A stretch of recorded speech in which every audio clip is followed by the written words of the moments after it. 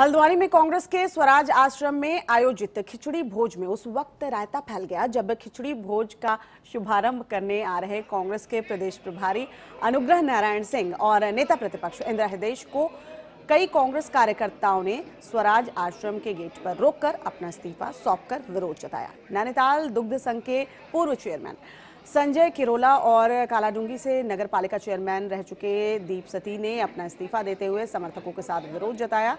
माघ के महीने में आयोजित इस खिचड़ी पार्टी में नई कार्यकारिणी में प्रदेश सचिव बने दोनों नेताओं ने विरोध जताते हुए इस्तीफा देने के बाद पार्टी के प्रदेश नेतृत्व पर निशाना साधा।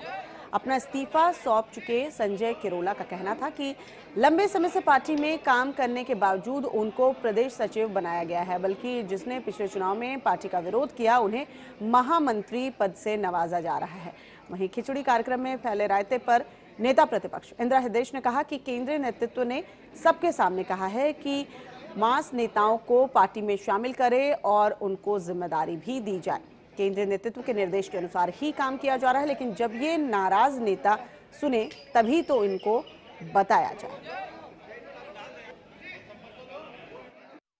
हमने पार्टी में अपना विरोध जताया, पार्टी में कुछ सिस्टम में कुछ खामियाँ हैं।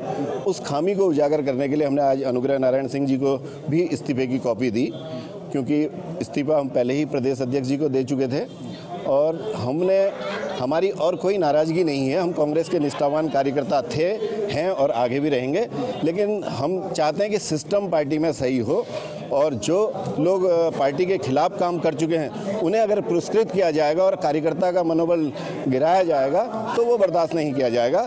किस बात का विरोध है? अगर किसी की मास में से उन्हें राहुल गांधी ने सार्वजनिक रूप से, जिसमें हरीश रावत भी थे, किशोर उपाध्याय थे, कहा इन्हें पार्टी में शामिल करिए। एक कागज़ के टुकड़े फाड़ कर कहा, इन्हें कुछ काम भी सौंपिए।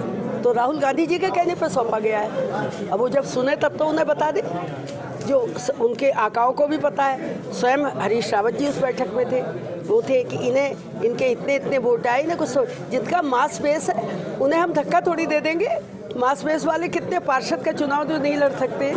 वो खू खू खू खू करते बड़ी कार्यकारिणी बहुत ज़्यादा थी।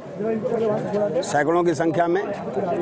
अभी ऑल इंडिया कांग्रेस कमेटी ने उसको कुछ कम करने के निर्देश दिए हैं। उसके अनुसार गठित की गई है, अब ये काम करेगी। जो लोग भी उसमें काम करना चाहेंगे, उनका बहुत ही स्वागत है। और जो नहीं करना चाहेंगे तो उनकी कोई बात नहीं है। और ये सभी का समन्वय करके सारी चीज़ों को देख करके बनाई गई है।